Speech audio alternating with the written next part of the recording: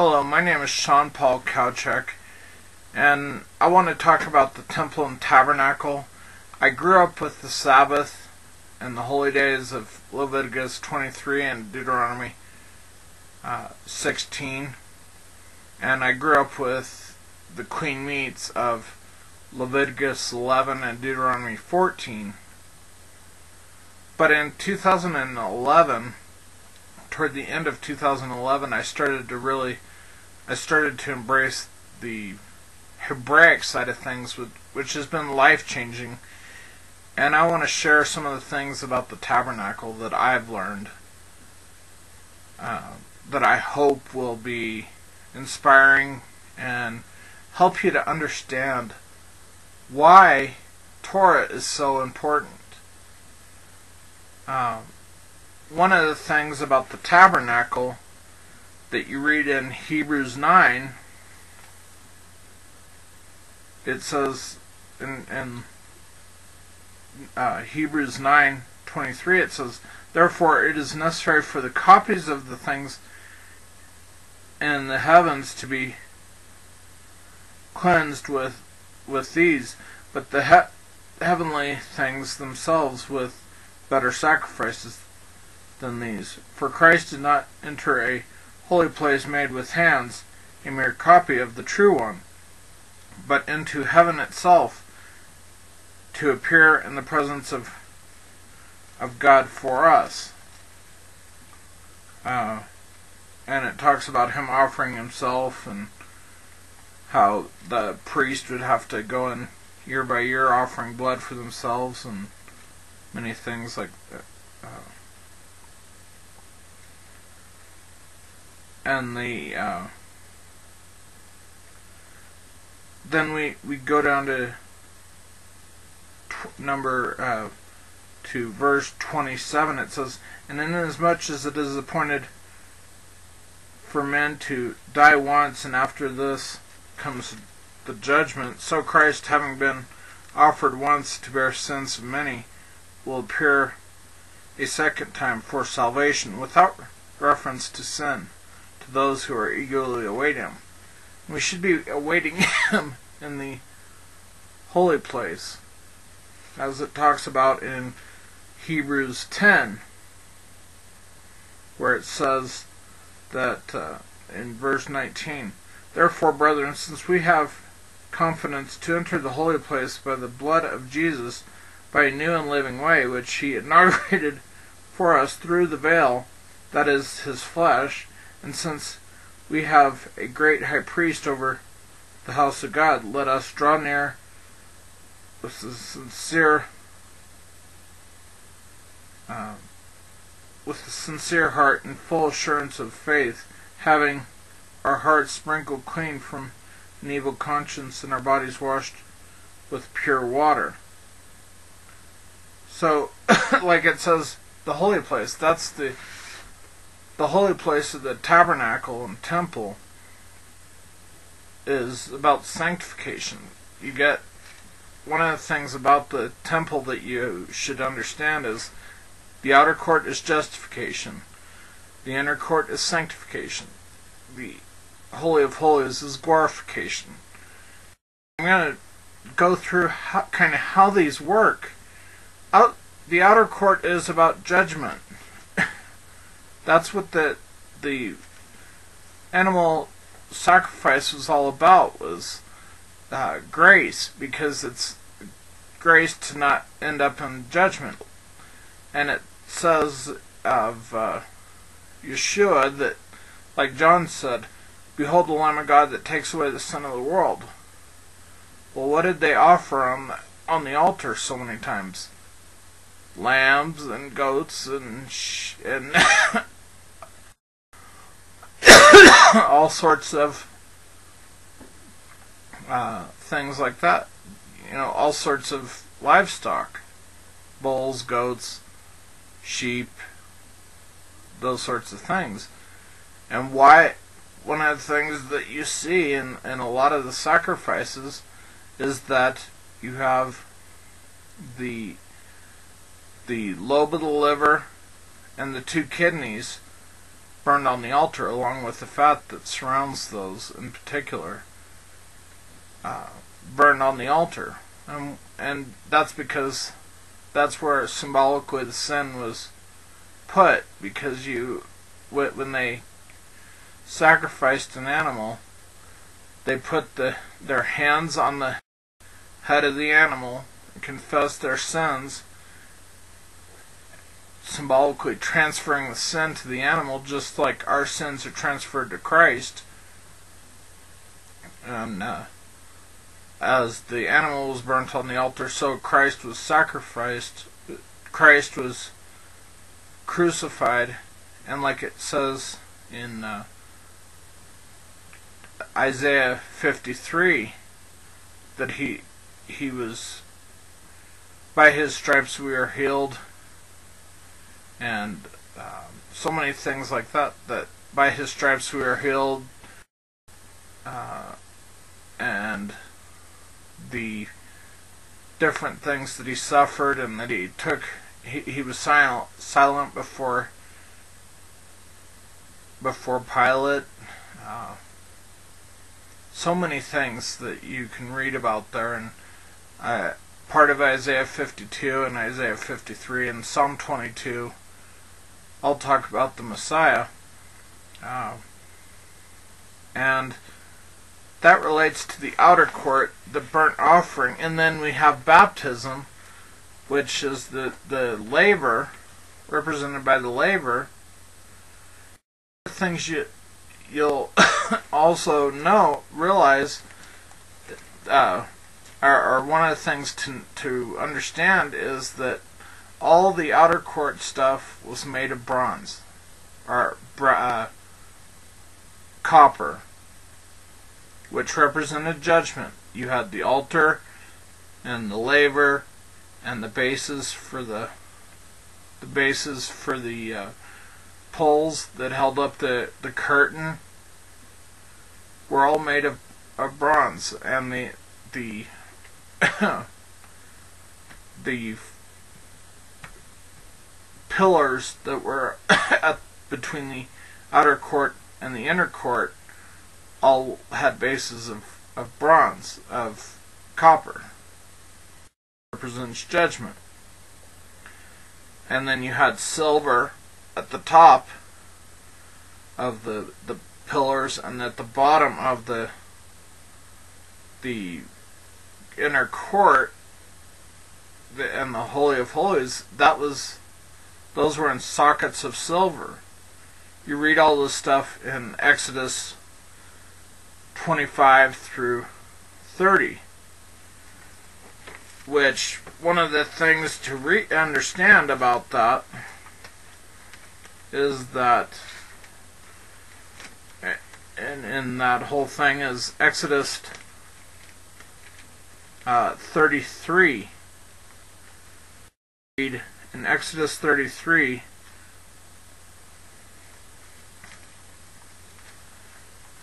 about starting in verse 15. Then he said to him, If your presence does not go with us, do not lead us up from here. For how then can it be known that I have found favor in your sight, and, and I and your people? It is not by going with us so that we. Is it not by your going with us so that we and I and your people may be distinguished from all the other people who are upon the face of the earth? The Lord said to Moses, I will also do I, I will also do this thing of which you have spoken, for you have found favor in my sight, and I have known you by name. Then Moses said, I pray you show me your glory. And he said, I myself will make all my goodness pass before you, and will proclaim the name of the Lord before you, and I will be gracious and to whom I will be gracious, and I will show compassion on whom I will show compassion. But he said, You cannot see my face, for no, no man can see me and live. Then the Lord said, Behold, there is a place by, by me, and you shall stand there on the, the rock, and it will come about while my glory is passing by, that I will put you in the cleft of the rock, and cover you with my hand until I have passed by. Then I will take my hand away, and you shall see my back, but my face you shall not see. That hand, first you have to understand that God is a consuming fire, which is a concept you kind of see in Exodus 24 and several other places, but I'll use Exodus 24 only for now. Says, The glory of the Lord, verse 16 of Exodus 24, the glory of the Lord rested on the Mount, Mount Sinai. The cloud covered it for six days, and on the seventh day he called to Moses from the midst of the cloud, and to the eyes of the sons of Israel, the appearance of the glory of the Lord was like a consuming fire on the mountaintop. And this whole concept goes throughout this throughout that. You you also see this concept of the consuming fire also in the sea of glass in Revelation uh, Revelation 15, verse 2. And I saw something like a sea of glass mixed with fire, and those who had been victorious over the beast and his image, and the number of his name, standing on the sea of, of glass holding harps.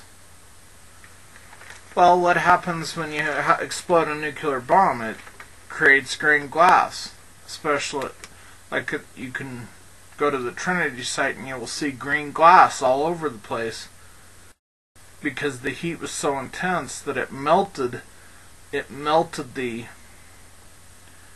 uh, the sand into a glass.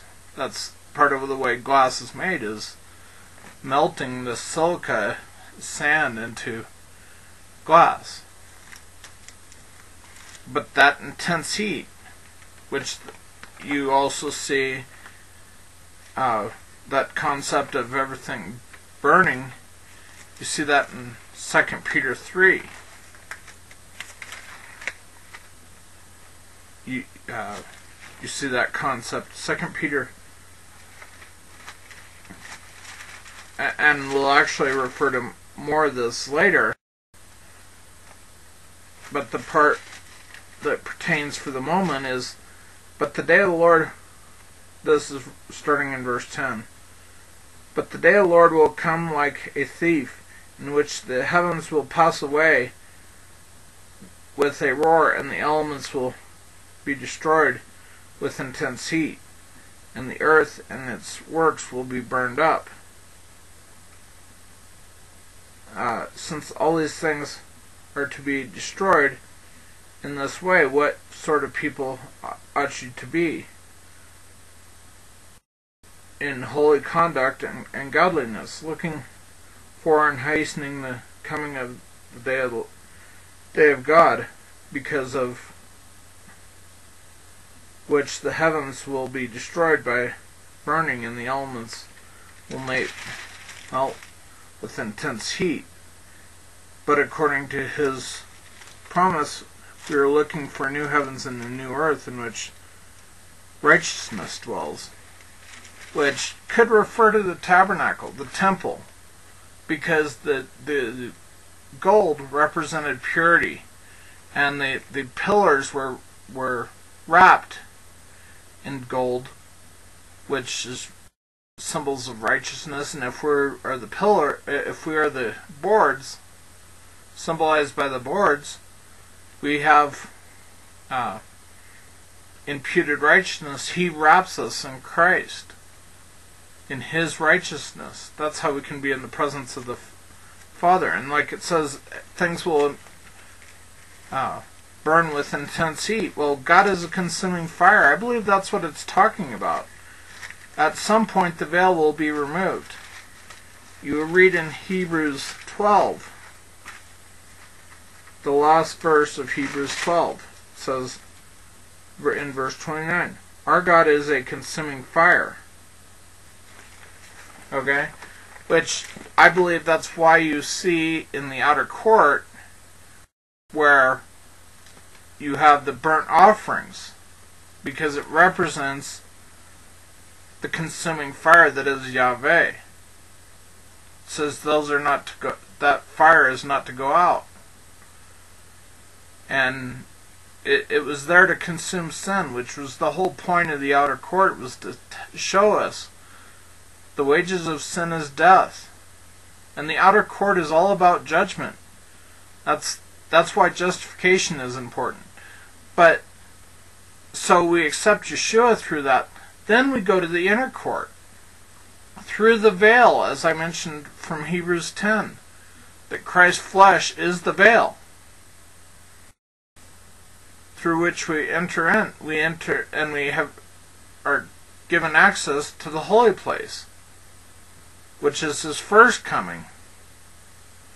We we get access to the holy place at his first coming, and then the Holy of Holies, which is the, the throne room of Yahweh, we get access to that at Yeshua's second coming, when he comes for his bride. Like he says in John 16, I go to prepare a place for you, but I will return. That has to do with the Jewish wedding, and that's the whole point is we get the outer court, which is judgment. It's the sea, it's the and the inner court is kind of like the land where you can build a temple, tabernacle. Um, and you had Noah's flood, the first judgment, and then the fire, like you read in Second Peter three about the elements burning. I believe that's when the second veil is removed that where we will enter the presence of Yahweh after we are changed according to 1 Corinthians 15. So the outer court is about judgment. That's important to understand.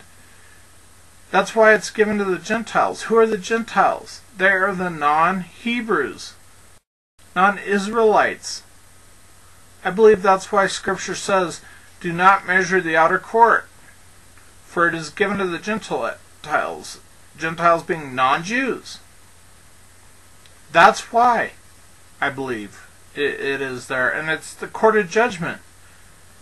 And Christ is the veil. Right? Christ is the veil. And where do we see that protection a protection from judgment?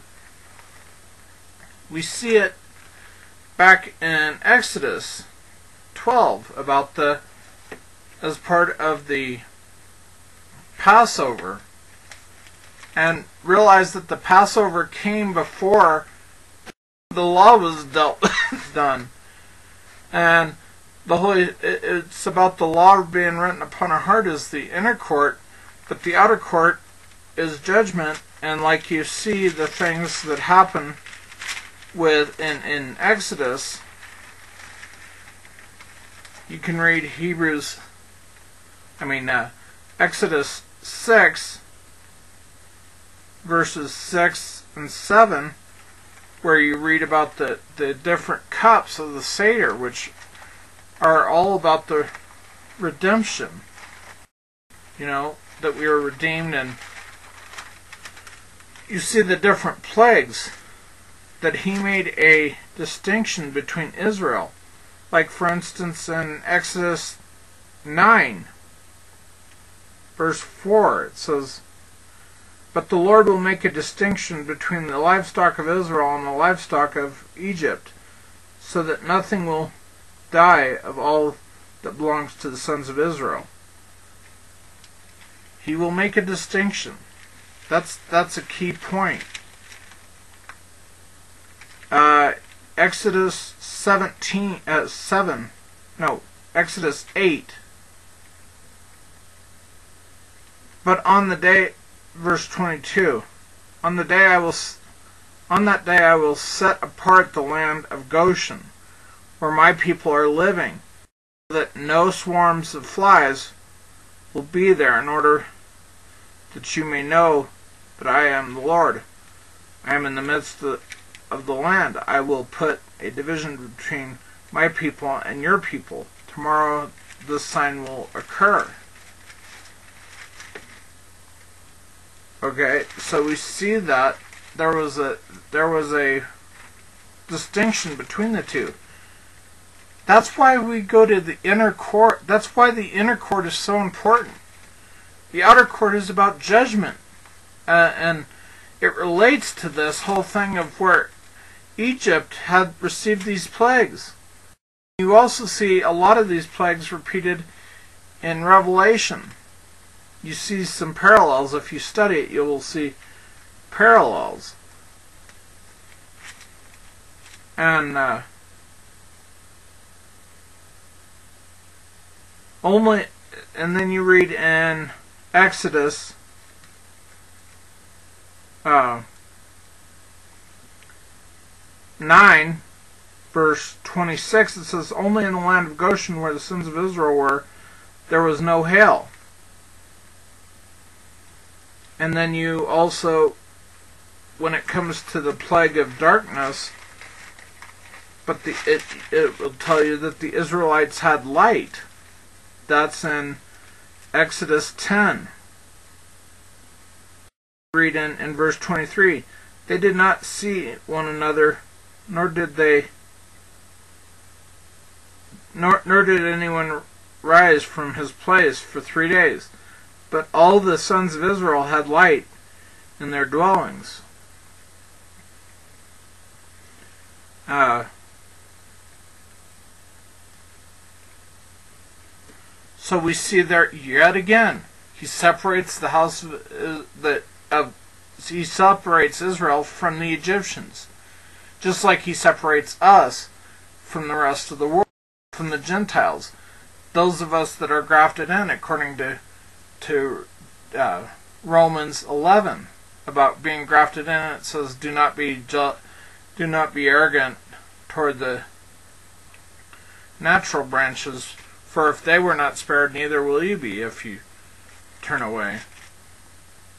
so this is outer court. This is related to the outer court, and let's go to this part.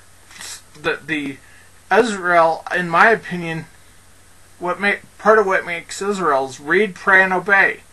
What are we reading and praying, and what are we obeying? The Word of God. And what we can read as far as prayer read in Proverbs, the book of Proverbs,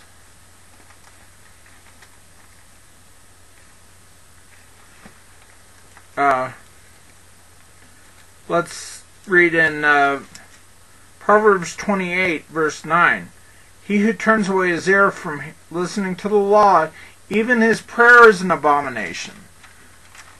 That's an important part. Even his prayer is an abomination if he doesn't follow Yahweh.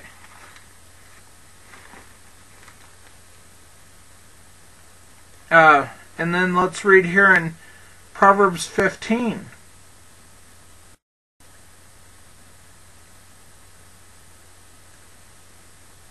The, this verse 8 The sacrifice of the wicked is an abomination to the Lord, but the prayer of the upright is his delight. But he loves the one who, who pursues righteousness. Grievous punishment is for him who forsakes the way. He who hates reproof will die. There again, outer court judgment. And but he hears the prayers of the righteous. Well, read, pray, obey. We read the Word of God, we pray, and obey is a key part of that. That's how we become a light. You know, this being an oil lamp, there's oil in this oil lamp. but it doesn't do any good unless I light the, the wick, right? So it is with us. If we don't obey, we're as useless as this lamp is at the moment. But when we obey, our wick gets lit and we become light to the world. Uh, and that's very significant. What, what did Christ say? I am the light of the world. He who follows me shall not walk in darkness. And we can read in Psalm 119. Let's read in Psalm 119 real quick. A couple of things while I'm there. Psalm 119 says,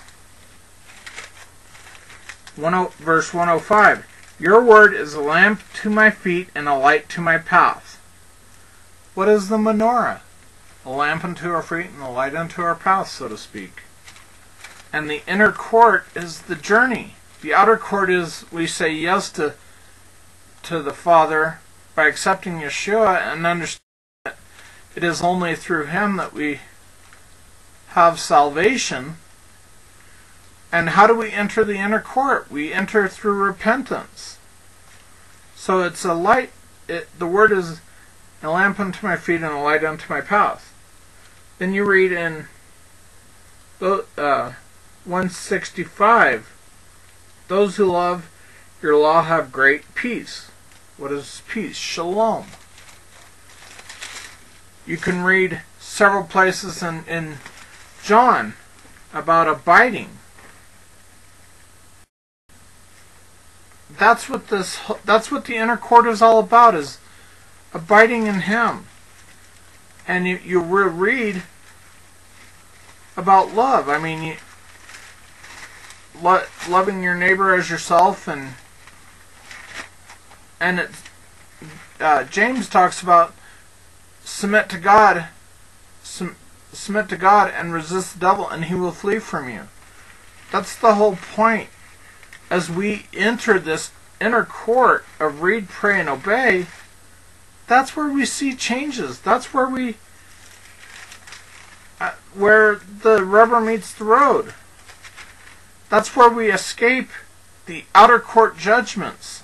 The outer court is about judgment, just like it, they were judged in, in uh, Egypt, but it, Israel was set apart, and we'll read that here in a second. But let's we read 1 Peter 1, verse 22. Since you have an obedience to the truth, truth being Torah, purified your souls for sincere love of the brethren, for love one another from the heart, for you have been born again, not of seed which is perishable, but imperishable. That is through the living and enduring Word of God. Uh, so we see those things. That's what the inner court is about, is this concept. You read throughout First John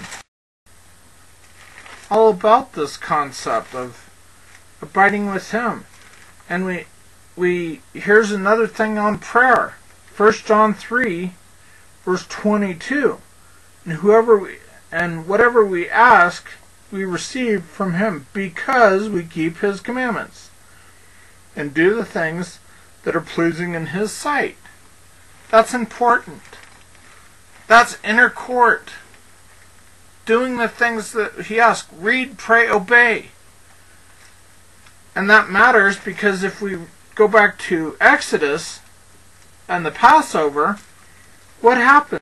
Of course, the beginning of months, so we see that uh, then we read in verse 3 Speak to all the congregation of Israel, saying, On the tenth day of this month they shall each one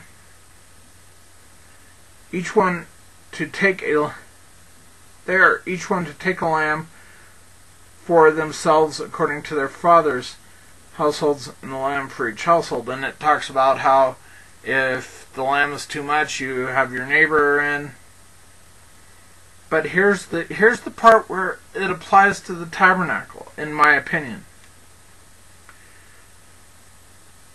and, and the tenth tenth of the month. First of all, the tenth tenth of the month is important. That's when the triumphal entry happened, where they were saying Hosanna, Hosanna, Hosanna. It was about.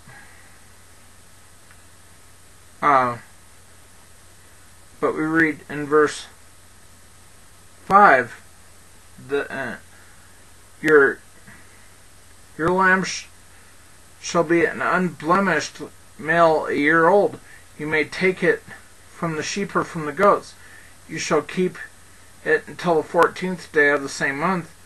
Then the whole assembly of the congregation of Israel. Notice congregation. It, it exists back then.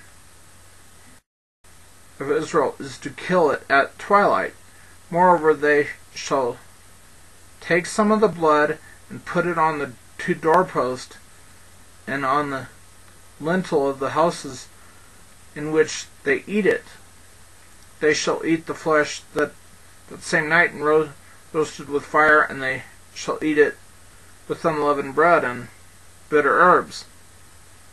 Do not eat any of it raw or boiled at all with water, but rather roasted with fire, both its head and its legs, along with its entrails, and then burn the rest of it.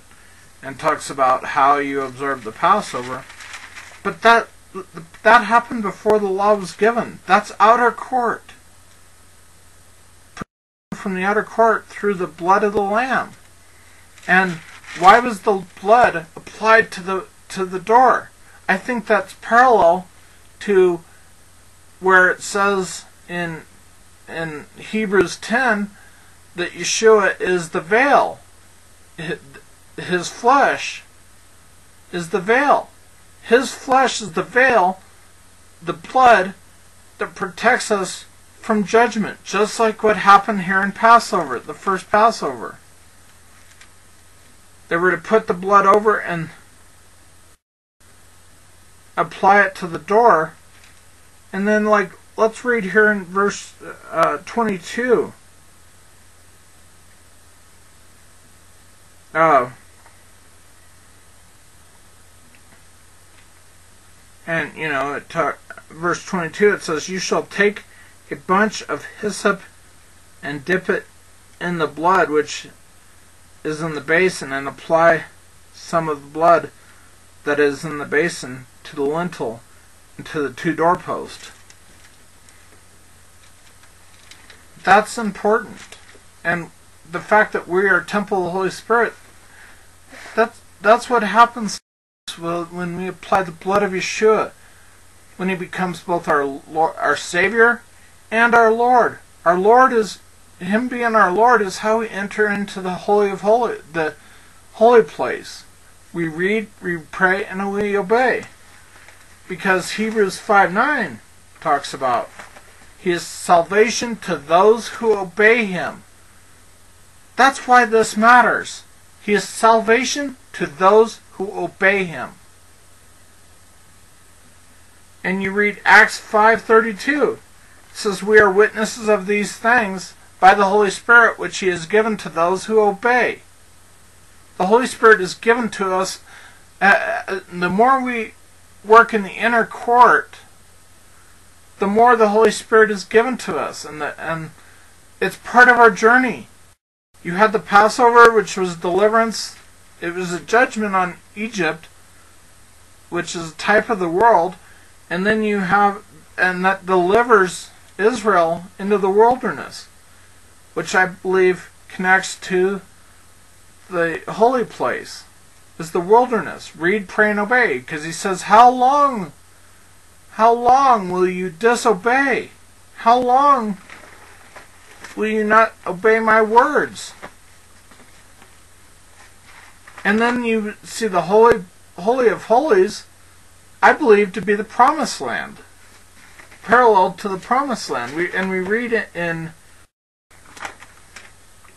First Corinthians ten. Well, we hear read in First Corinthians ten uh, verse 11. Now these things happened to them as an example that they're, they were written for our instruction upon whom the ends of the age have come.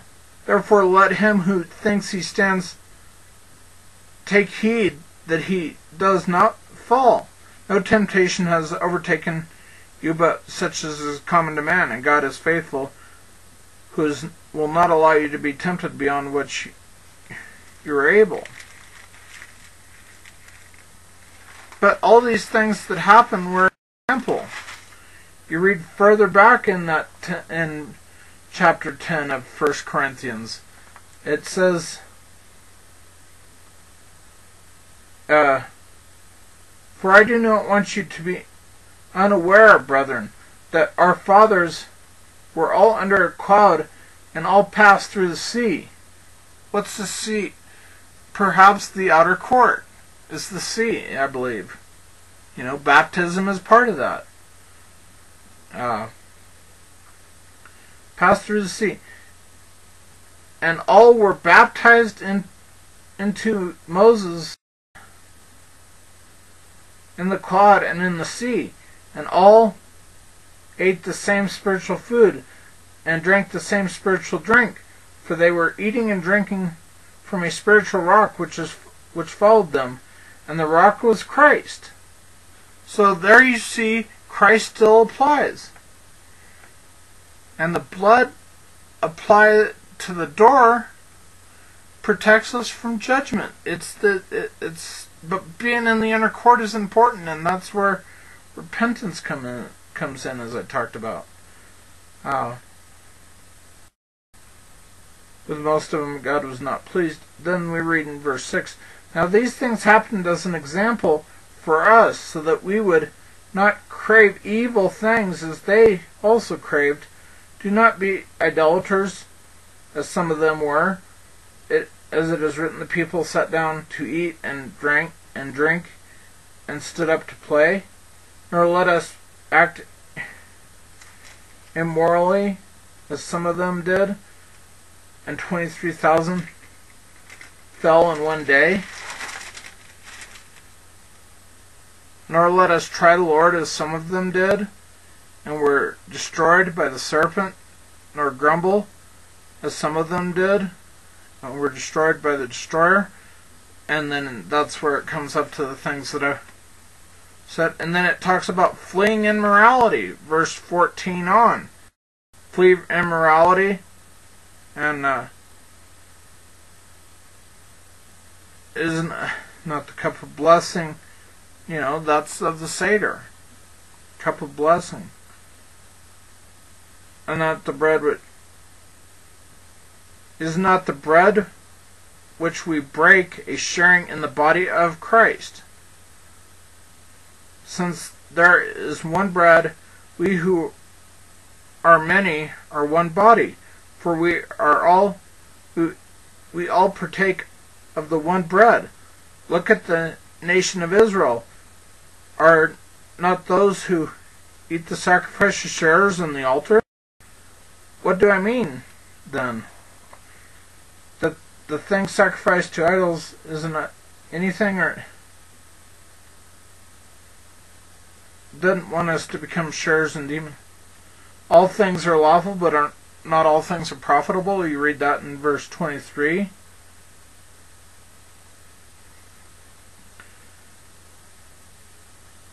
And, you know, not being a stumbling block to our brothers and sisters. That's so important. That that teaches us that that's all an example. And and their time in the wilderness, I believe, is like our time. Whether are we going to be in the the holy place, read, pray, obey, and grow from that, and be blessed by that, or not? Are we going to apply uh, Psalm 19, where it says, Psalm 119, starting in verse 7, I believe it is. The law of the Lord is perfect, restoring the soul. The testimony of the Lord is sure, making wise the simple. The precepts of the Lord are right, rejoicing the heart. The commandment of the Lord is pure, enlightening the eyes. The fear of the Lord is clean, enduring forever. The judgments of the Lord are true. They are righteous altogether. They are more desirable than gold. Yes, than much fine gold. Sweeter also than honey and the drippings of the honeycomb. Moreover, by them your servant is warned. In keeping them there is great reward. This is talking about the law and the instructions. By the, keeping them there is reward. And what is the reward? Well, let's go to Isaiah 33, where it says, talks about who is able to live with consuming fire, right? It says in verse 14 of, well, verse 11, it's part of it says, the latter part of it says, My breath will consume you like fire but let's go down to verse 14. Sinners in Zion are terrified. Trembling has seized the godless. Who among us can live with the consuming fire? Who among us can live with continual burning? They wouldn't be asking those questions if that wasn't possible. He, he who walks righteously and speaks with sincerity, he who rejects unjust gain and shakes his hand to so that they hold no bribe. He who stops his ears from hearing about bloodshed and and shuts his mouth from looking upon evil, or shuts his eyes from looking upon evil. Those that's your answer there. How do we do that? We are in the the holy place. Read, pray, obey. Read, pray, obey. And like I mentioned in Acts 5:32, it talks about we are we are witnesses to these things by the Holy Spirit whom he has given to those who obey him. And Hebrews 5:9 which says he is salvation to those who obey him. These concepts that's what the holy place is all about is learning obedience. Like he, like Yeshua, like Yahweh said, how long will you not, will you disobey me? And there is real consequences to not being in the holy place. Let's, you can read in Micah, you read in Micah chapter 4, Ezekiel, all the abominations there. Oh, well, hey, since I'm here, I'll go to Hosea 4 6. My people are destroyed for lack of knowledge, because you have rejected knowledge. I also will reject you from being my priest. We are called a nation of kings and priests according to Peter. Since you have forgotten the law of your God, I also will forget your children. Okay, this is important to understand. But we read in Micah. Well, actually, let's go to Zechariah uh, 22. So many, so many peoples and mighty nations will come to seek the Lord of hosts in Jerusalem and to entreat the favor of the Lord. Thus says the Lord of hosts. In those days, ten men from all the nations will grasp the garment of a Jew saying, Let us go with you, and we have heard that God is with you. What, while we're here, let's go to Zechariah 14, uh, when it talks about the holy days, specifically the Feast of Booths. Uh, verse 16, Zechariah 14, verse 16. Then I will, then it will come about that any who are left of all the nations that went up against Jerusalem will go up from year to year to worship the King, the Lord of hosts, and to celebrate the Feast of Booths. And it will be that whichever of the families of the earth does not go up to Jerusalem for worship uh, to worship the King, the Lord of hosts, will there will be no rain on them. Well, no rain means no crops, no food. If the family of Egypt does not go up to en- or enter, then no rain will fall on them. It will be the plague that with which the Lord smites the nations who do not go up to celebrate the Feast of Booths. This will be the punishment of Egypt.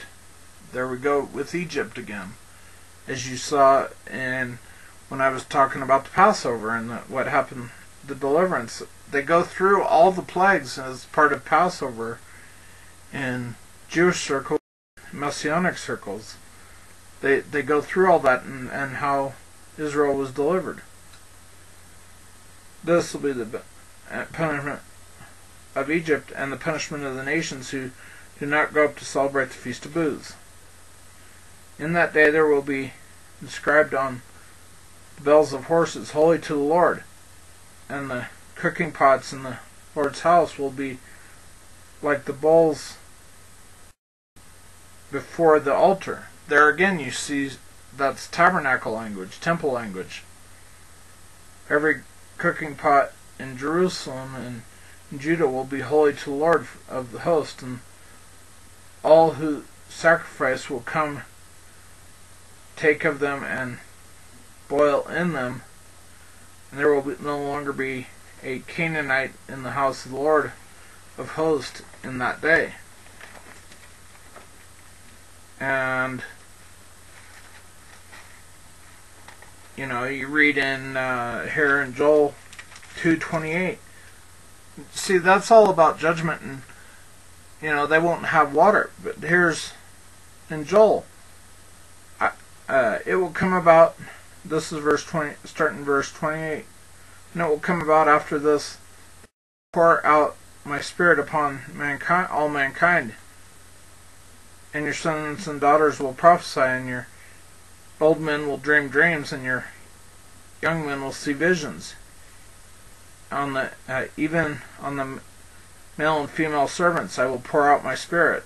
Pouring is an anointing, which to you know, which is important. How did the how did the high priest refill the menorah?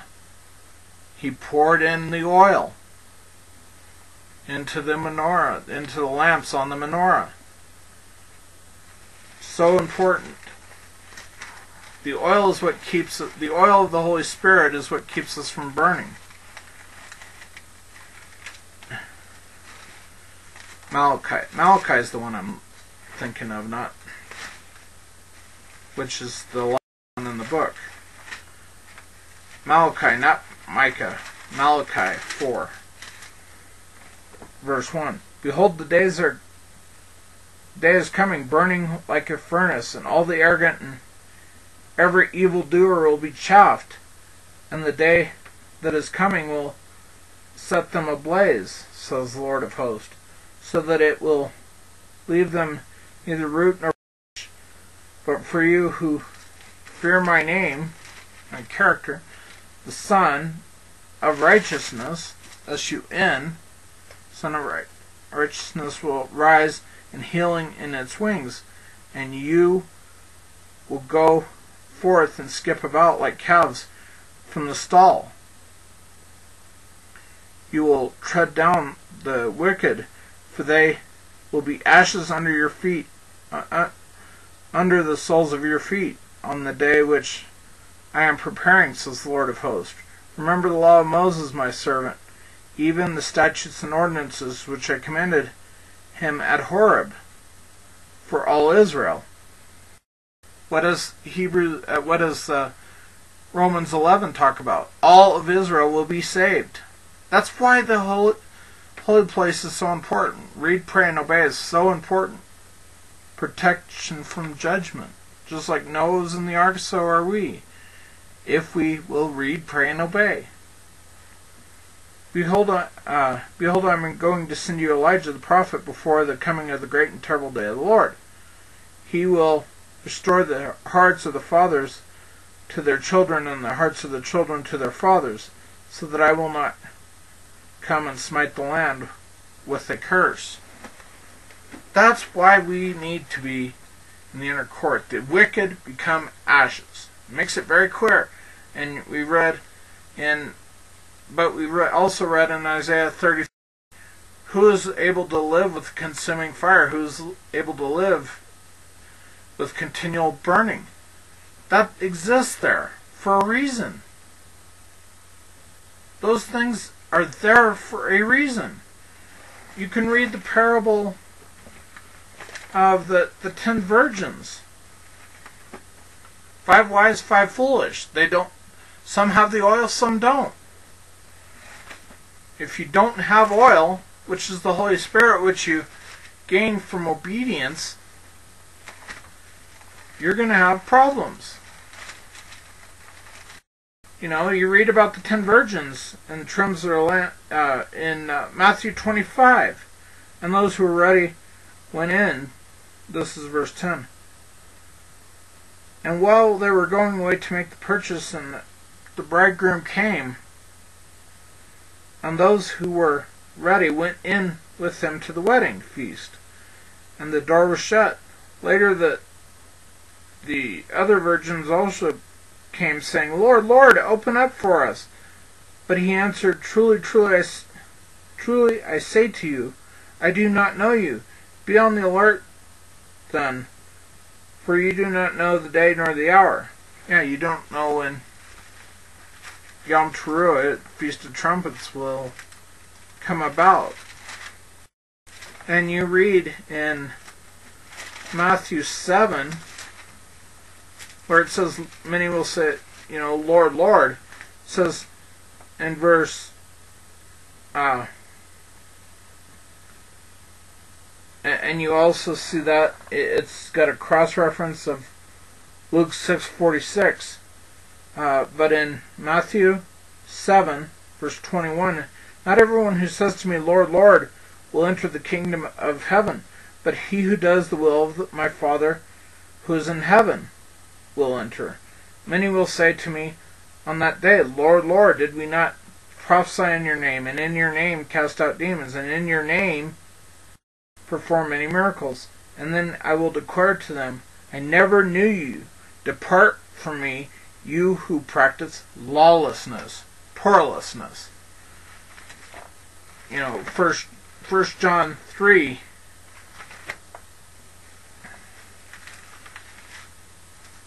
1 John 3 makes it clear. 1 John 3 4 says, Everyone who practices sin practices lawlessness. What did we read? You who practice lawlessness, go away. Practices lawlessness. Sin is lawlessness. What is sin? Transgression of the law. That's why we have to abide in Him. And that's what the whole inner court is about. Is abiding in Him, learning His ways, being His people. That's what we're here for. Loving, showing love to one another, inviting others by our love into the inner court. That's why we're here. That's the whole. And just as and we can choose, like it was with Rebecca and Eliezer. Eliezer asked, and this is in Genesis. Eliezer was getting a uh, was going back to Ur which was where Abraham came from to get a bride. And what does he do? He goes to Ur and he says, the, the one who draws for me and so, uh, says, Oh, I will draw for all your camels and every, everyone with you. That is the one who was his. And that's the whole thing. And then he asked her about marriage to, to his master. And they end up going across the desert to he Eleazar read, leads Rebecca from that from her home to in uh, to go marry Isaac. That's that's by does that shows us how the Holy Spirit leads us. That's what the inner court is about: is leading us to the wedding. After we say yes with to Yeshua, we repent, and repentance is turning away from the sin. Like uh, Second Chronicles seven fourteen says, "If my people who are called by my name will humble themselves and pray, then I and turn from their wicked ways, then I will hear from heaven and I will heal their land." But we have to turn away from our wicked ways, and that is a key. That is very key in all this. We that's and it is in those things. It's not that we're saved by by we're saved by the works of the law. We're not. We can't be. We can't enter through that veil with because Yeshua is that veil. And that's that's the important part. Yeshua is that veil that protects us from judgment. It's not that we can work our way to, to heaven. We can't. But through that, you know, through the tabernacle is the restoration of all things. That's what the tabernacle is all about. He wants a, a relationship with us. And I will do a part two on all this, where I will cover a lot of this more in depth. There's so many more, th there's other things to add to this. So, Shalom, shalom, and we will see you in the next portion of this. Shalom, shalom.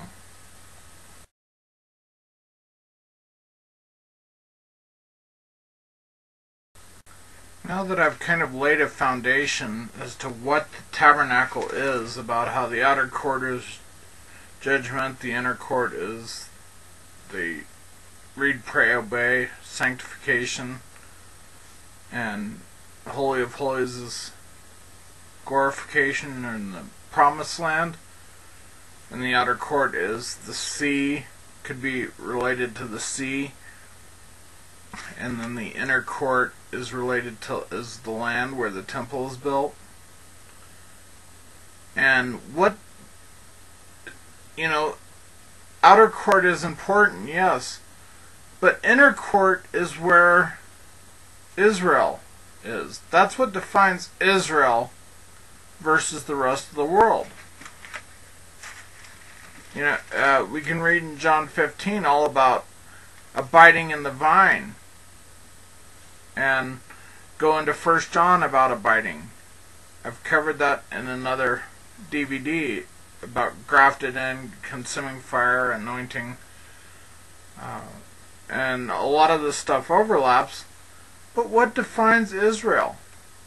Torah defines Israel. Read, pray, and, and, as we read, we pray and we obey. And people will constantly say, Oh, well, are you going to sacrifice? Well, first of all, you can't sacrifice without a temple. And guess what? The temple wasn't built. If you go back and read First and Second Samuel, especially Second Samuel and First Kings, the temple was not built until Solomon. David was the one that battled on and on and on and on, fighting enemies all over the place. Saul, too. They were fighting enemies, and it wasn't until Solomon that the temple could actually be built. Plus, it had to do with uh,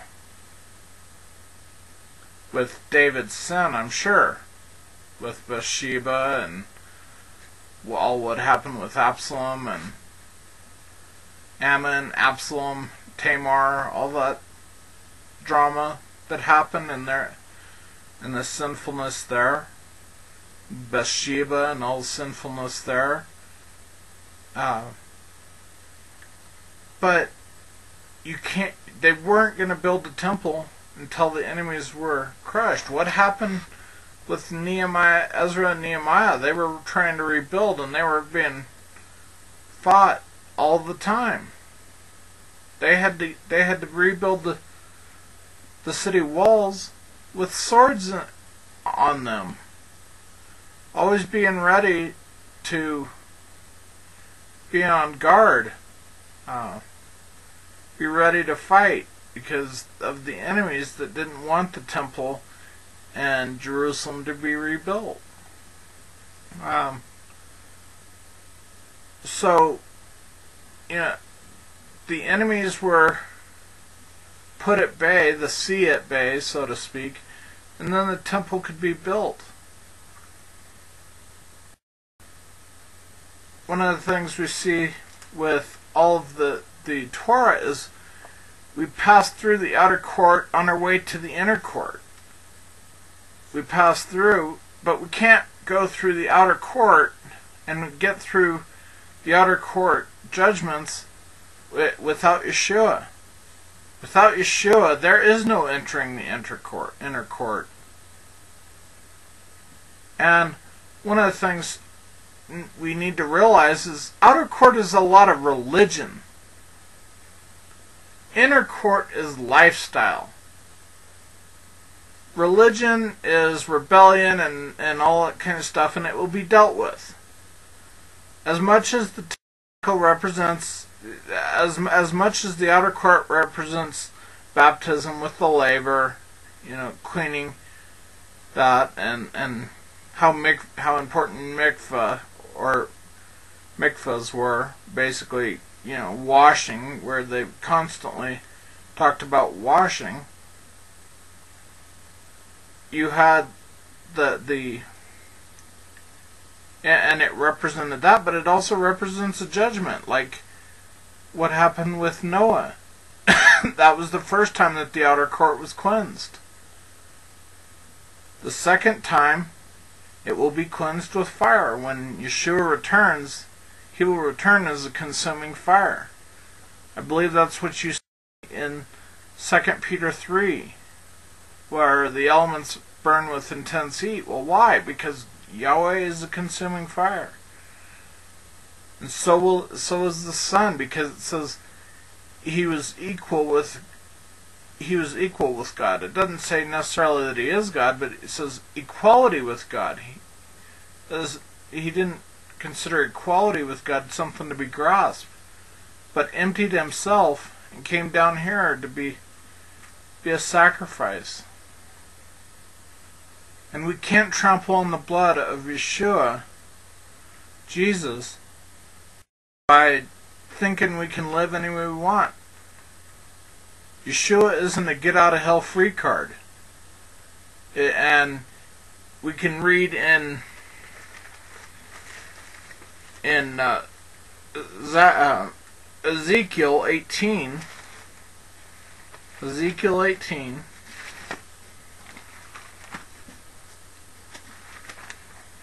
Isaiah, Jeremiah, Daniel. Uh, Ezekiel, Daniel. So before Daniel and after Jeremiah and Lamentations. Ezekiel 18. And here's how we, we really get away from this once saved, always saved. That you can't stay in, and this kind of would tell you, you can't stay in the outer court. Keep out offering sacrifices and offering sacrifices applying the blood. Yes, but he wants you to go beyond that. He otherwise we trample the blood of Yeshua. We'll start in Ezekiel 18, verse 20. The person who sins will die. The son will not bear the punishment for the father's iniquities, nor will the father bear the punishments for the son's iniquity. The righteousness of the righteous will be upon himself, and the wickedness of the wicked will be upon himself.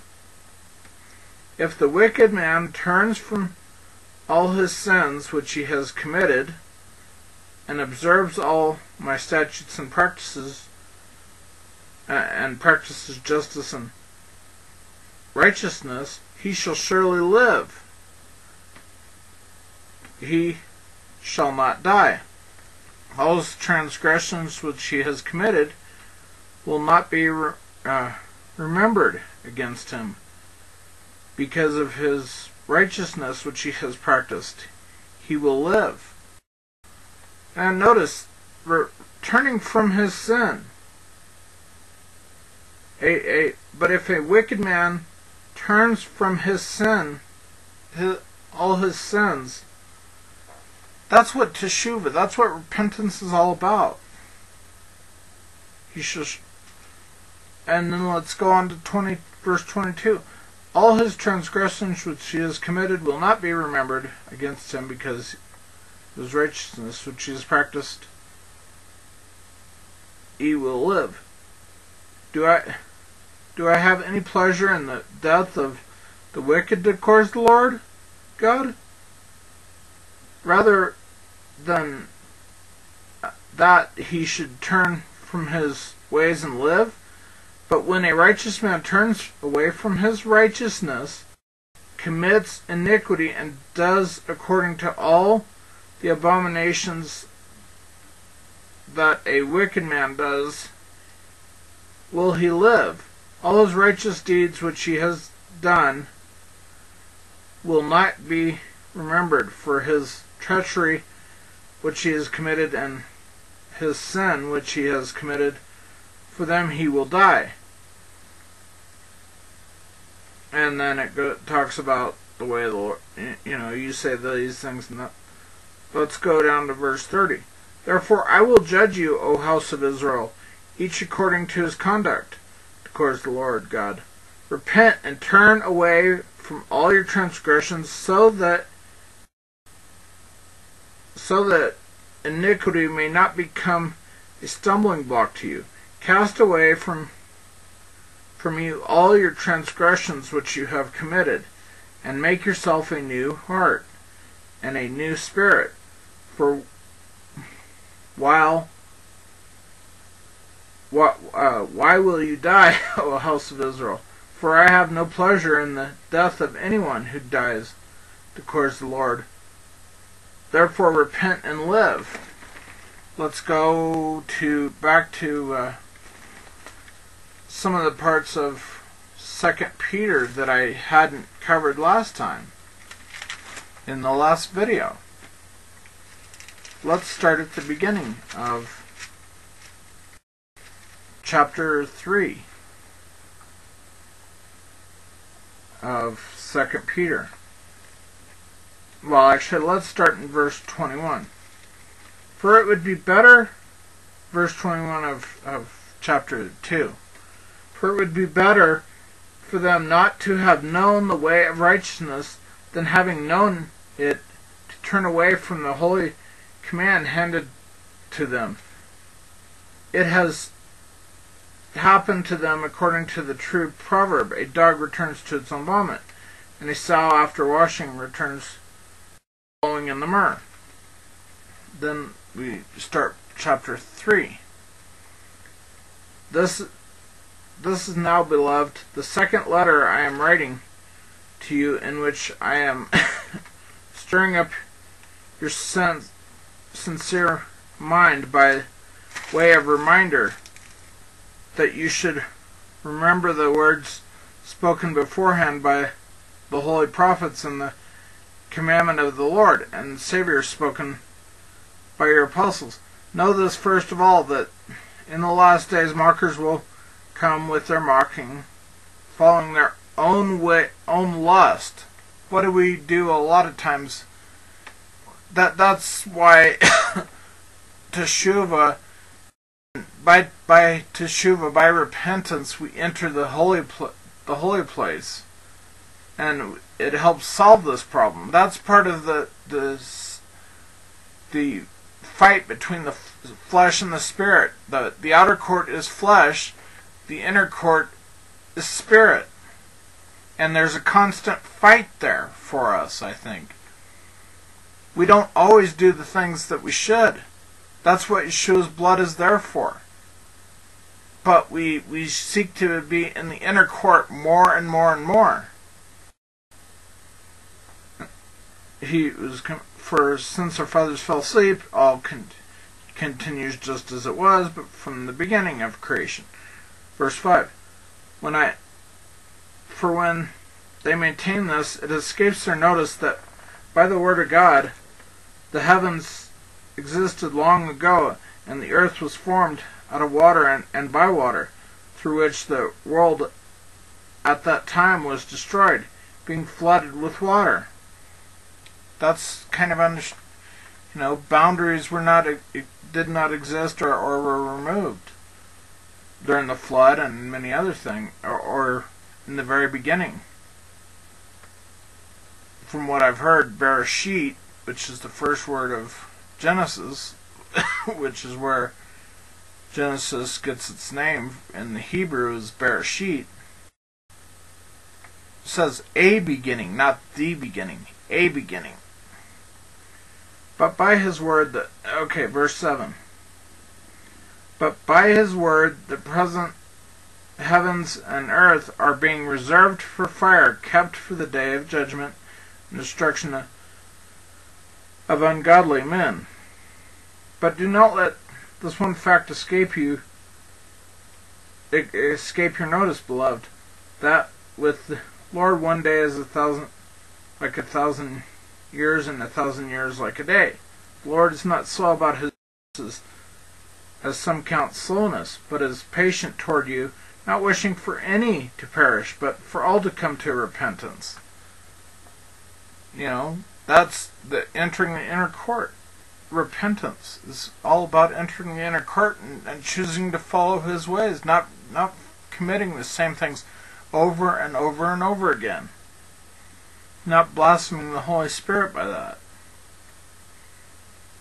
Perish from but the day of the Lord will come like a thief, in which the heaven will pass away, and that's where, you know, at one point he talks about Noah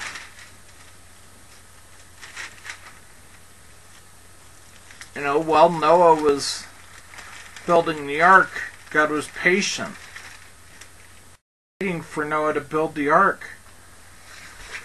That took time. Uh, but it, the our ark at this day and time is the inner court. And how do we live in the inner court? Well, one thing is the Sabbath. Exodus, we read in Exodus 31, verse, starting in verse 12, the Lord spoke to Moses, saying, But as for you, speak to the sons of Israel, saying, You shall surely observe my Sabbath, for this is a sign between me and you throughout your generations, that may know that I am the Lord who sanctifies you. There, therefore, you are to observe the Sabbath, for it is holy to you. Everyone who profanes it surely it shall surely be put to death. For whoever does any work on it, that person shall be cut off from among his people. For six day, days' work may be done, but on the seventh day there is a Sabbath of complete rest, holy to the Lord. Whoever does any work on the Sabbath day shall surely be put to death. So the sons of Israel shall observe the Sabbath to celebrate the Sabbath throughout their generations. The sons of Israel, well, if we're grafted in, then aren't we sons of Israel? That's what one of the th- why where the Sabbath matters as opposed to Sunday. Sunday, I can sh- show from the uh, Catholic Catechism that it they did it by their own authority, changing it from Saturday to Sunday. What they thought they had the authority to do. Okay, verse 17. It is a sign between me and the sons of Israel forever. For six days Lord for in six days the Lord made heaven and earth, but on the seventh day he ceased from his labor and was refreshed. When he had finished speaking to him upon Sinai, he gave Moses two tablets, you know, and of course then you have the golden calf and all that stuff. Then let's go to Exodus 34, which is also about the Sabbath. Uh, and not all of it, but from verse 21.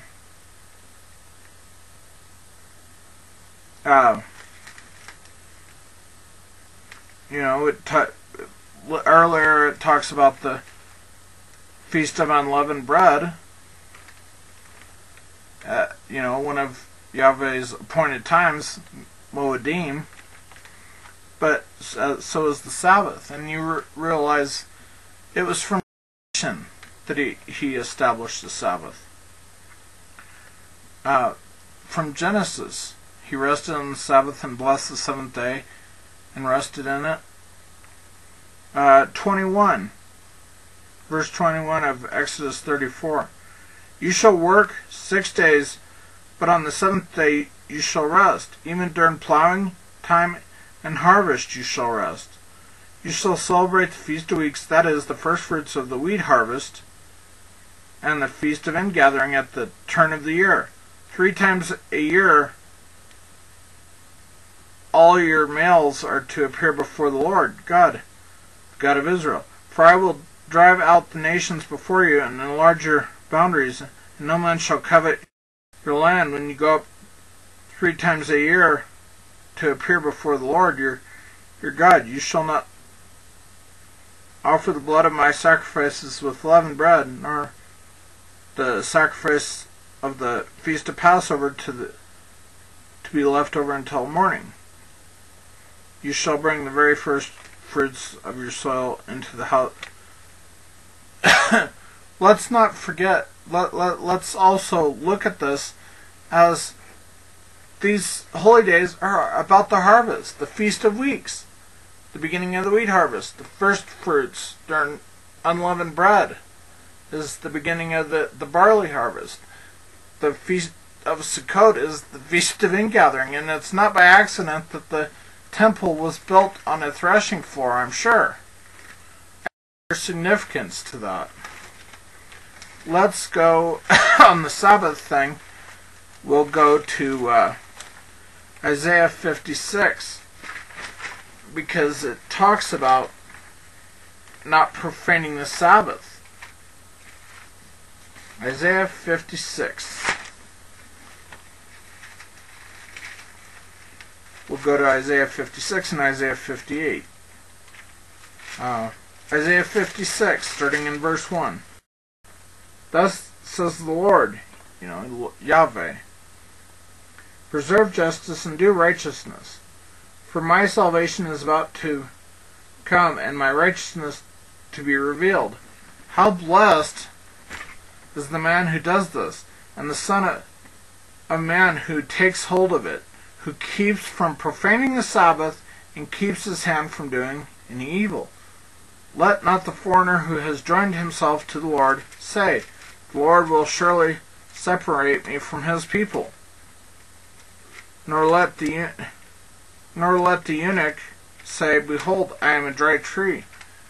The whole thing of the eunuch was they were uh, those that had crushed testicles were not allowed in to the congregation, which is so. So that shows you he, this is kind of a grace thing in, in some ways about, but keeping Sabbath. The oh, here with the eunuch it takes all and let no foreigner not the foreigner who has joined himself to the Lord say Lord sure the foreigner who's joined him joined to the Lord how, that goes back to Numbers 15 where it says There'll be one law for you and for the alien who joins with you. But, okay, so we'll go verse 4 here. For thus says the Lord to the eunuchs who keep my Sabbath and choose what pleases me and hold fast my covenant. To them I will give in, in my house and within my walls a memorial and a name better than that of sons and daughters. How can you come with a better name than sons and daughters? I will give them an everlasting name which is not will not be cut off. Also the foreigner who joins himself to the Lord to minister to him and and to love the name of the Lord, the character of the Lord, to be his everyone who keeps from profaning the Sabbath and holds fast my covenant. Even those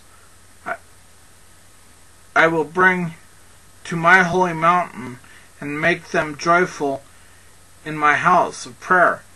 Their burnt offerings and their sacrifices will be acceptable on my altar. Their burnt offerings will be and stuff will be uh, acceptable. Wow. Isn't that amazing? That that's a, a very interesting thing. Let's go to Isaiah 58 verse 13. If because of the Sabbath you turn your foot from doing your own pleasure on my holy day, and call the Sabbath a delight, the holy day of the Lord, honorable, and honor it, this test uh, desisting from your own ways, from seeking your own pleasure and speaking your own word, then I will tell take delight in the Lord. Then you will take delight in the Lord, and I will make you ride on the heights of the earth, and I will feed you with the heritage of Jacob your father, for the mouth of the Lord has spoken. And we look at Numbers 15, where it talks about the whole thing of there being one law for for the alien and for the sojourner.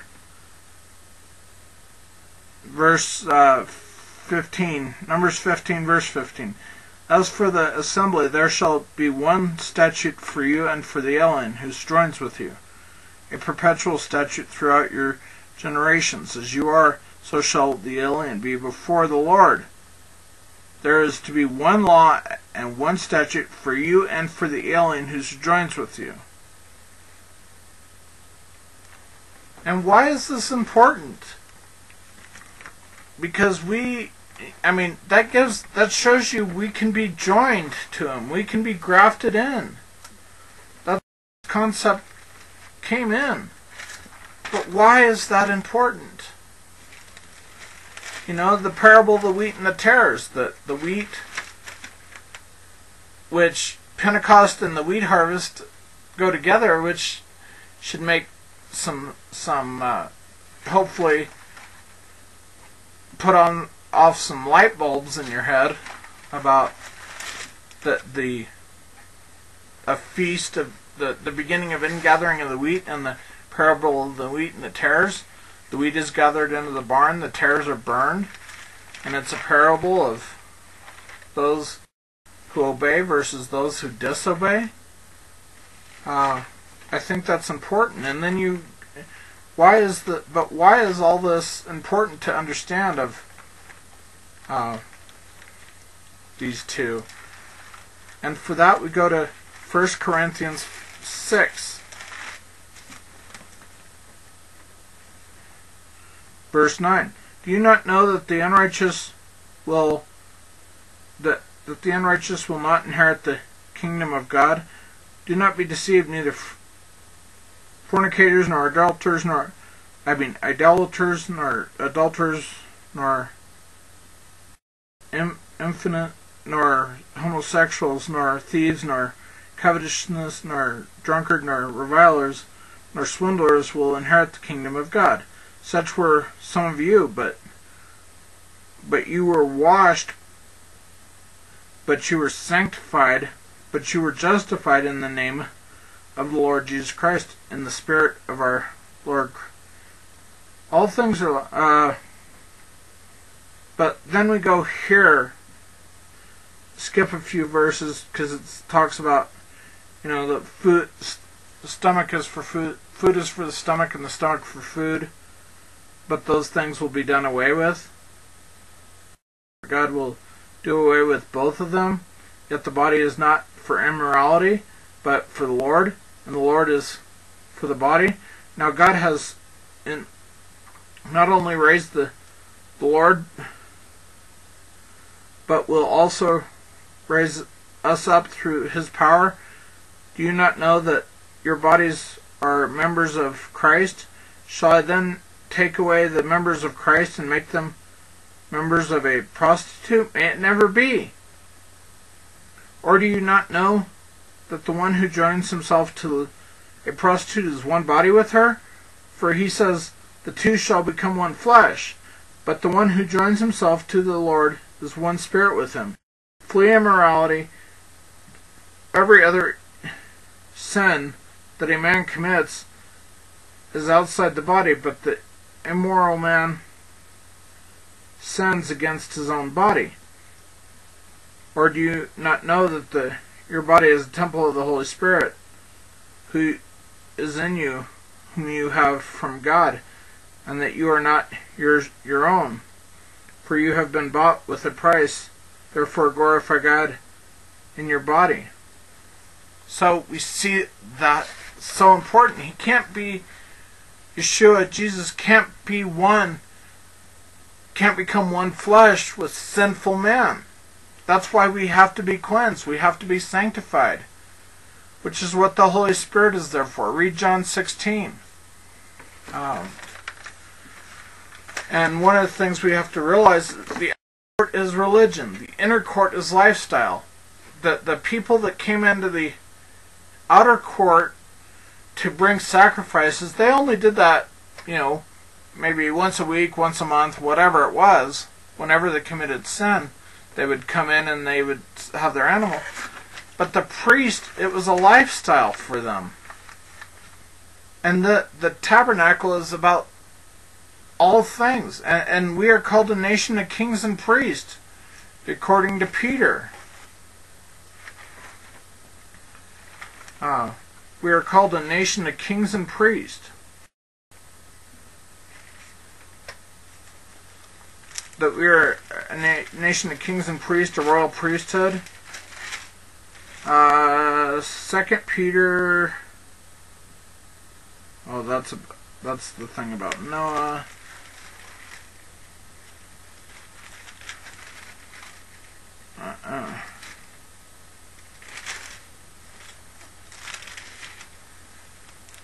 It's in First Peter. Yeah, First Peter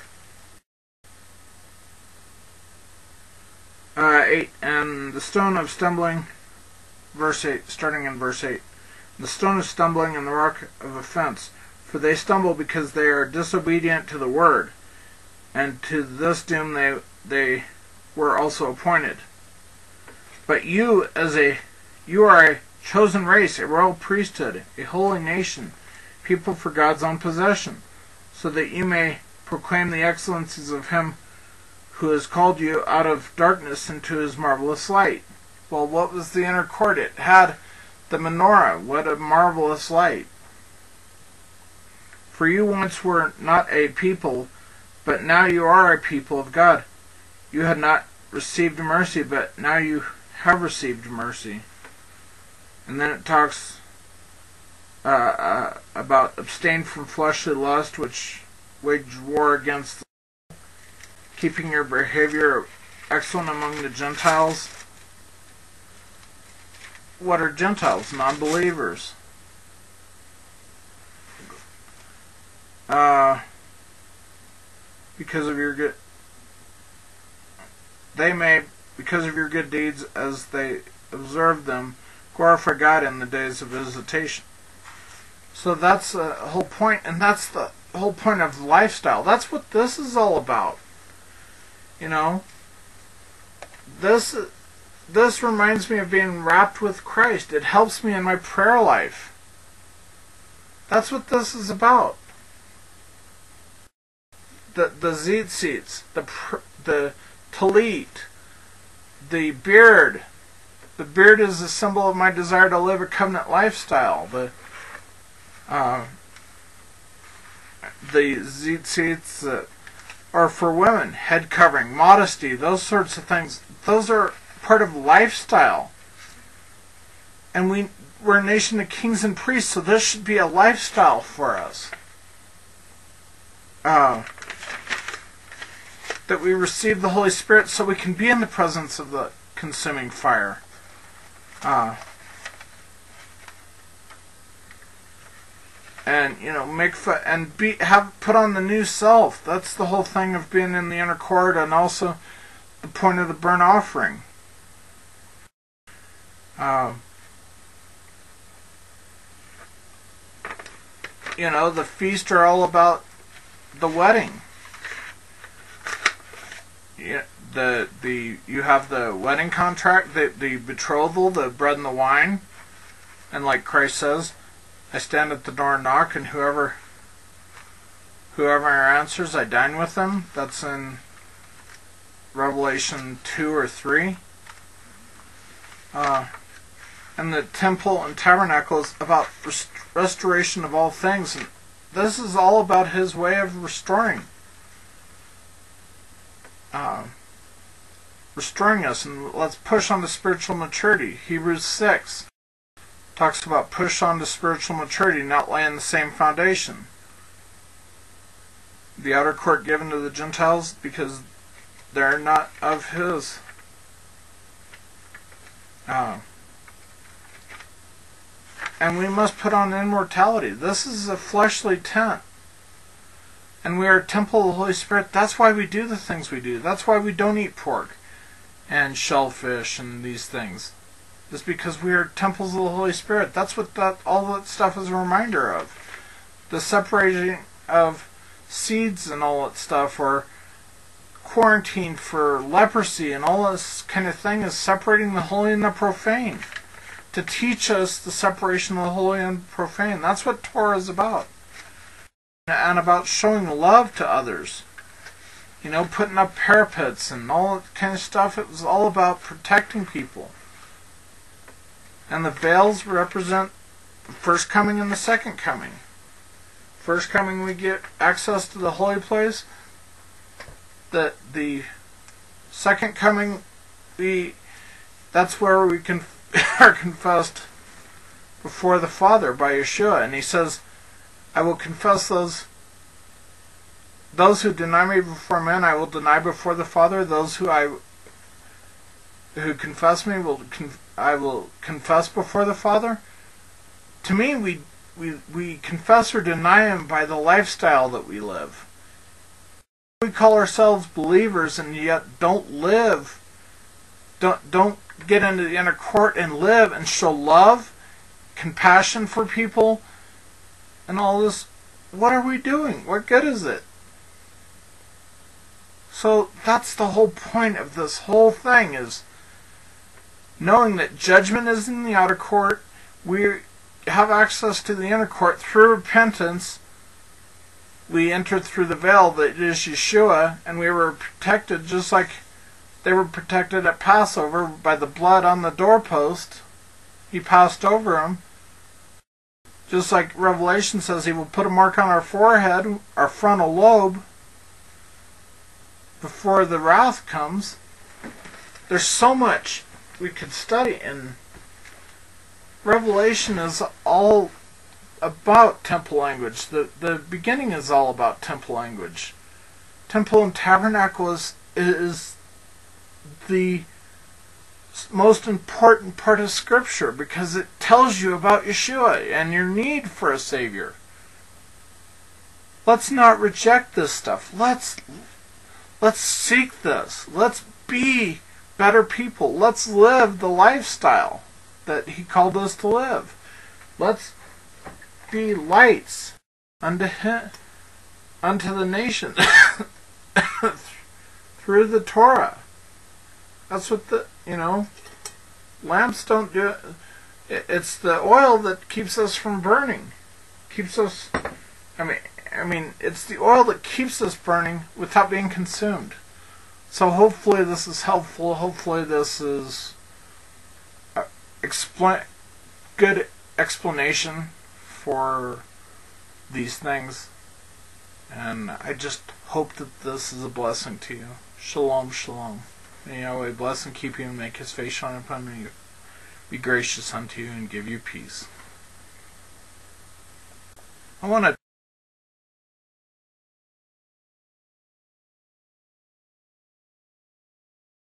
talk about being a temple of the Holy Spirit because that's also what what this whole thing of the temple and tabernacle is about. Don't forget that the temple was in the mid, in the center of the congregation, and that the congregation was laid out in such a way to look like a body. I think people will say it's cross. I think it's talking about the body. And what is what is at our center? The center mass of our body, the heart. The heart, the lungs, all those things. But the heart, the heart pumps the blood. The blood is the life of the animal. It's what carries nutrients to the rest of the body. It's what uh, does all sorts of things. The, the life is in the blood, which is so critical for us to understand. And that why is the law being written upon our heart? Because it cleanses the rest of the body. And Torah is what that's what Torah is about. It's about restoration. It's about getting us back to where Adam was before the fall. Where he walked with God. That's what this is all about, is getting back to, to that. And we read here in 2 Timothy, uh, you know, it talks about the end times and what, how people will be, which you could read that, you know, lovers of pleasure rather than lovers of God, etc. And it goes on and on and on, listing all sorts of things that, bad things that people do. But then we have verse 5 holding to a form of godliness, although they have denied its power. Avoid such men as these, for among them are those who enter into households and captivate weak women, weighed down with sins, led on by various impulses, always learning and never able to come to a knowledge of the truth. Well, what is truth? Truth is Torah. And then we read further, and then it talks about a couple of people opposed Moses. So these men also opposed the truth, men of depraved mind, re- rejected in regard to the faith, rejecting truth, op- opposing truth, tr- opposing Torah, because Torah is cleansing for us. I mean, it really is where we, we think of others more important to ourselves. That's what the whole thing about Torah is about. You know, not letting your, your cattle go and graze on someone else's land is one of the things in the Torah. To, that they graze your land bare and then they go over to someone else's. You have to make restitution for that. That the best that someone can graze on your land, the best of your grass as part of restitution. And, you know, building a parapet so that no one will fall off the roof because they had they were able to walk on the roofs at that time and they put a parapet so no one would fall off. That's a love thing. A love for others. That's how we build this temple is, is through love. Love for one another and love for God. Love for God in the in having a love for his holy days, the Sabbath, and his holy days, showing love for this temple in not eating unclean animals, not not watching uh, movies that that'll tinker around in here that you don't want them. You don't that just like TVs. They call TV programming for a reason. Anton LaVey called the TV the family altar. We have to watch what goes into this temple. That's the purpose of this whole. uh, what could and couldn't be part of the temple? What uh, the keeping the quarantines about the uh, those with leprosy or women that were in their menstrual period or I mean the list goes on and on and on about what people that have touched dead pe- dead people or people that touch carcasses of dead animals, especially unclean animals. I mean, the list goes on and on and on about what, how, how to, uh, about purity. That's the whole point of the, the keeping the, not not mixing wool and linen together, or or not mixing two types of seed, or not. Uh, breeding two types of cattle together. all these sorts of things are all all to teach us how to separate the holy and the profane. The holy days are to teach us about are, are to keep our keep our eyes on Yeshua as a, as the bridegroom. The Passover, which we keep accepting taking part in, in Yeshua's sacrifice through Passover. Symbolically, we partake of Him just as the priest partook of, had their part in the sacrifices, things that were sacrificed. We have that, and, and doing things for others, thinking of, of others is more important than ourselves. That's what the that's one of the things that Paul talks about several times within Scripture. And we can read in Corinthians where Paul talks about us being the temple of the Holy Spirit. We go to 1 Corinthians 1 Corinthians 3 uh,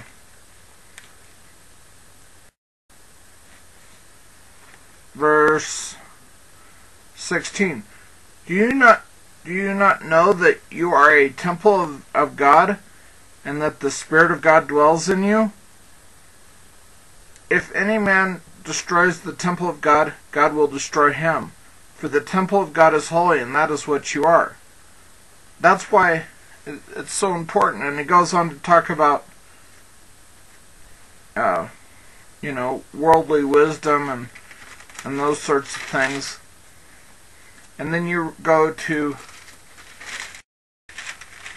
1 Corinthians 6 verse 19.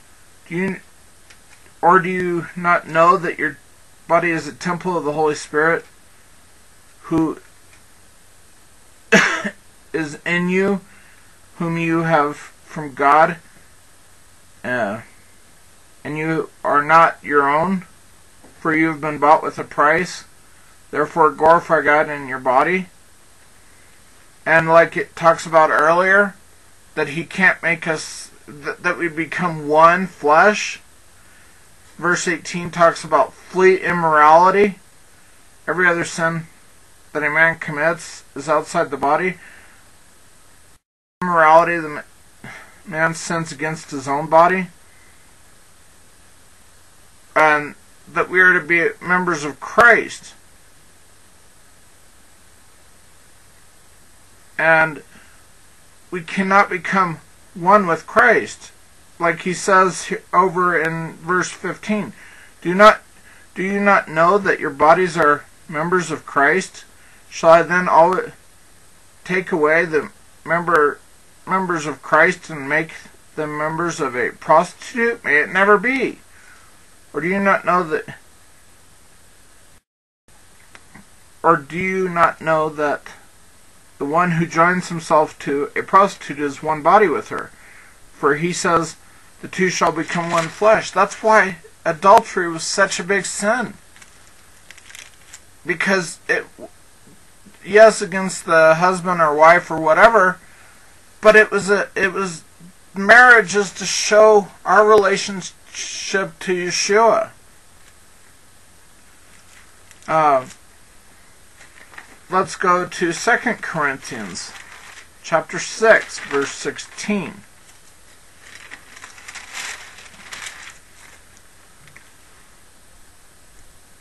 We start in 16. Or what agreement has the temple of God with idols? For we are a temple of the living God, just as God said, I will dwell in them and walk among them, and I will be their God, and they shall be my people. Therefore come out from their midst and be separate, says the Lord, and do not touch what is unclean. That's the whole point of getting into the inner court of the tabernacle. Read, pray, obey. And we we need to really get at that point. It's there's so much peace and so much cleansing by being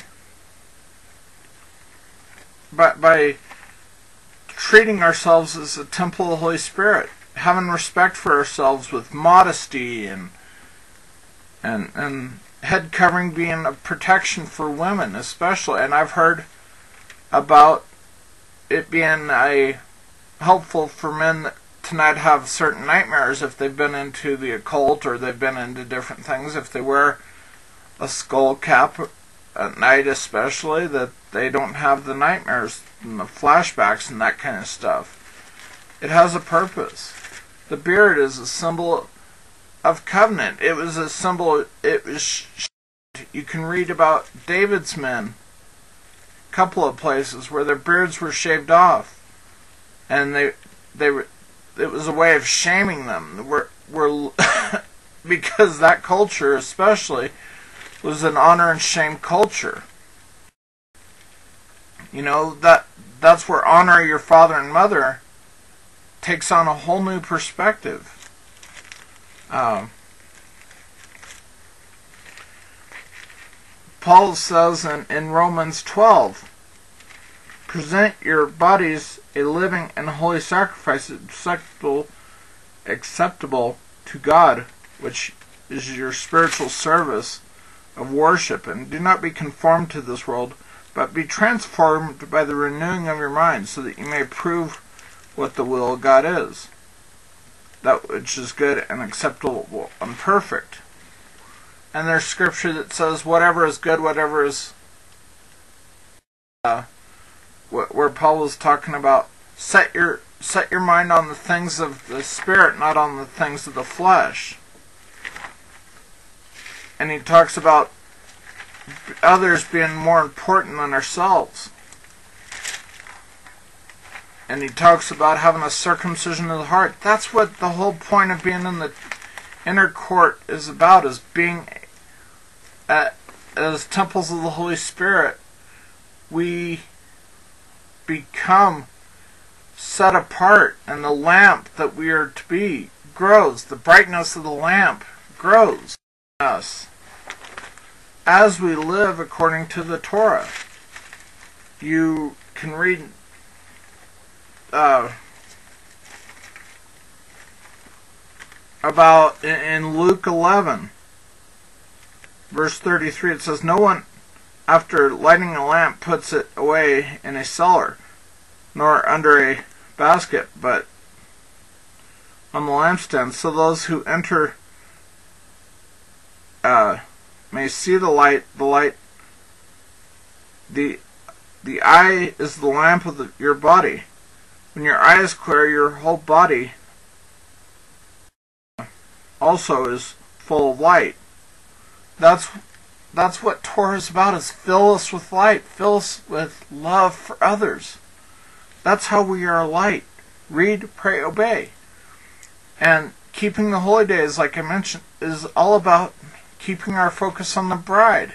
uh, on the bridegroom about who we are to be married to.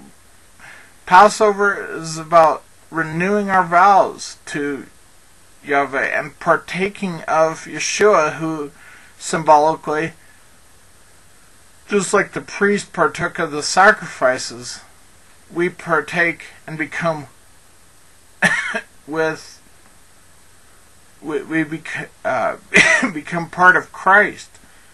That's why the whole thing, not eating meat sacrificed to idols, was so important back then. Uh, and then, and and to be a light. The light is Torah. In the beginning was the Word, the Torah. And the Torah in the beginning was the Word, and the Word was with God, and the Word was God. The Torah was God. And the Word became flesh. The Torah became flesh. Well, how did what does that mean? You you can read Leviticus and and see what that means.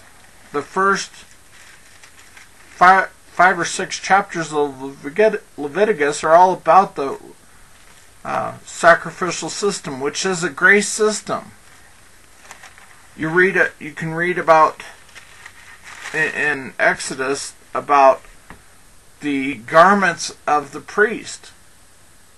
They wore tunics, especially worn tunics, and the you had the like the the blue, purple, and red. Blue represented royalty a lot. Maybe that's where what the whole thing of royal blue came from. But you have blue, you have purple, which is a combination of the blue and the red. Blue and red makes purple, and then red. Red being may, maybe symbolic of sin, and when you're in the and maybe in some way it represents you know the being in the outer court is sin uh, represents sin being in the inner court is the purple, and then being in the Holy of Holies is where the royalty, like it's like Peter says, we are a nation of kings and priests. And that's the whole point of this. Israel was to be a nation of kings and priests to the rest of the world. Why? The point is to show people Messiah, to bring them into a relationship to restore them. You know, relationship is where you get restored. Not it's not about going to church once or twice a week or whatever. That's not where you get restored. It's in the lifestyle. What you partake in your body. Leviticus 20, 11 talks about clean and unclean animals. Why? Uh, clean and you know what is okay to eat and what isn't and it's also in Deuteronomy 14. There's two witnesses to that. Then the Leviticus 23 talks about these are the feast of Yahweh, not the feast of the Jews, the, the feast of Yahweh.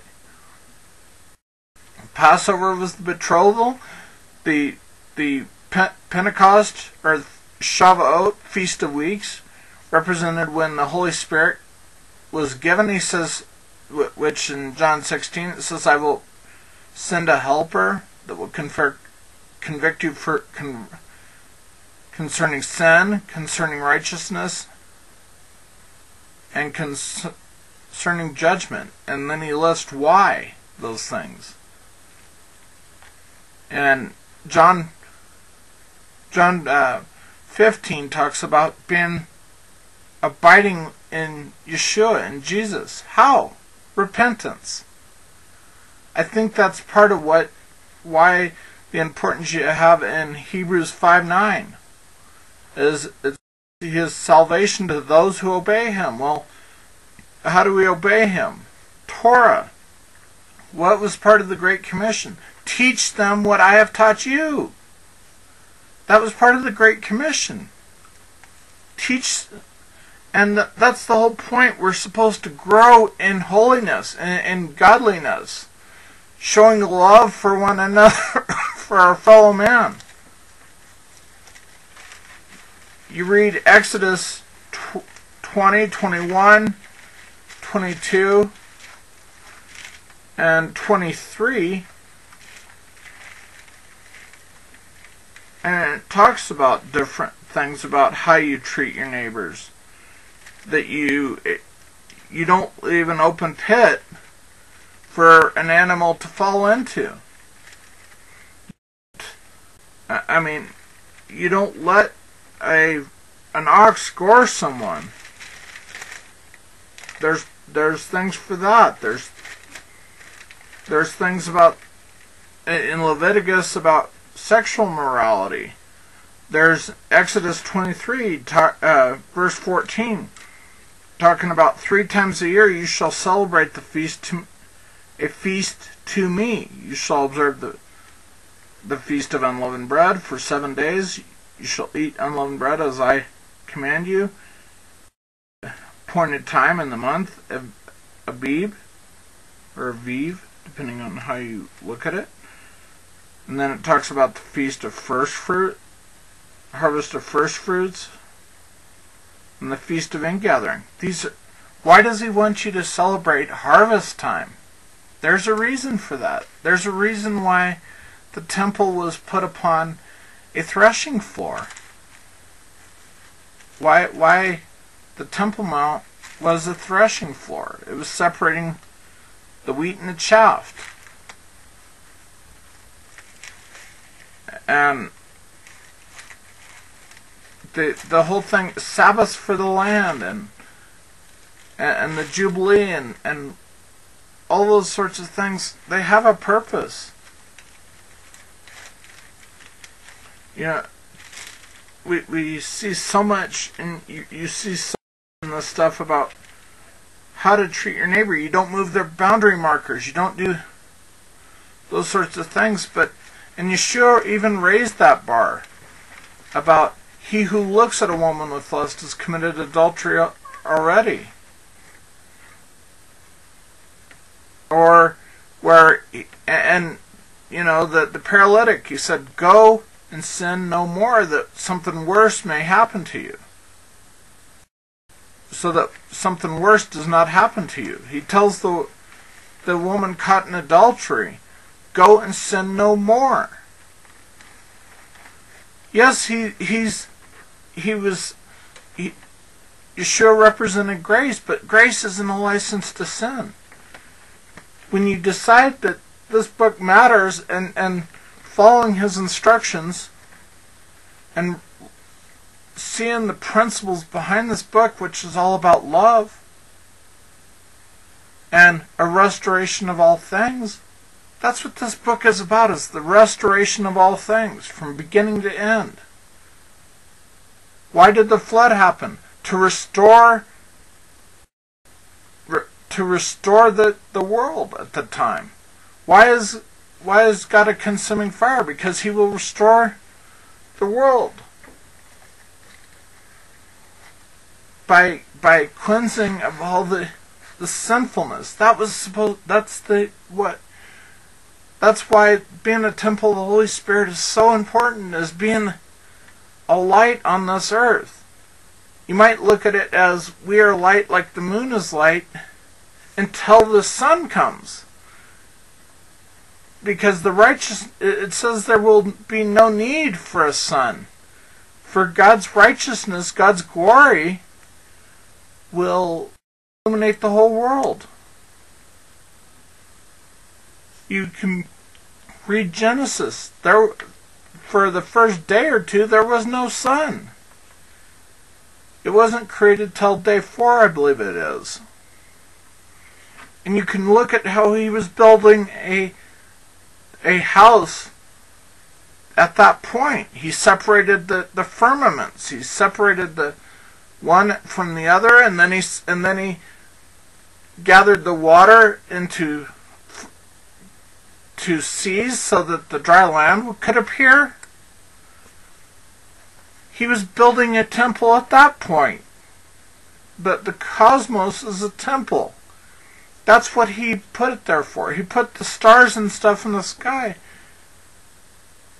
Signs and seasons and and the the moon representing a month, you know, the cycle of the moon representing a month, all these sorts of things are there for a reason.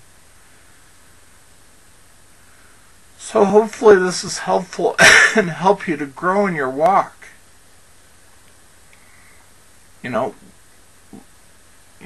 uh, Titus 1 verse, I believe it's 16 that says, we confess him, they confess him with their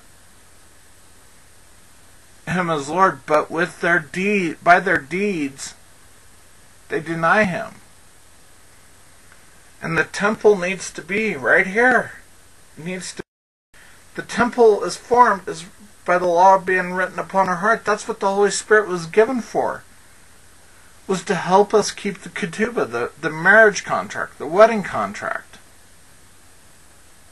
And then we you know, little fall feast are about the when, when Yeshua returns again and consummates the marriage and and the wedding the wedding celebration and all those things.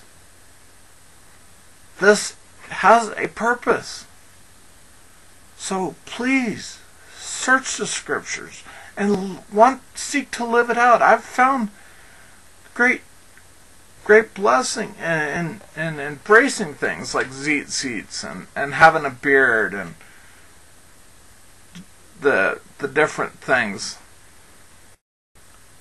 And it says in Zechariah, I believe it's eight, about Gentiles will ten Gentiles will grab onto the tzitzit garment of one Jew. That's what a tzitzit looks like, just so you know. But all this stuff has a purpose. Head covering has a spiritual a spiritual protection, not just a physical. A lot of the things that the temple was to show us that uh, spiritual concepts through a physical through a physical creation. It was there to show us the spiritual concepts. So hopefully this is helpful and worth your time. Shalom, shalom. May Yahweh bless and keep you and make his face shine upon you and be gracious unto you and give you peace.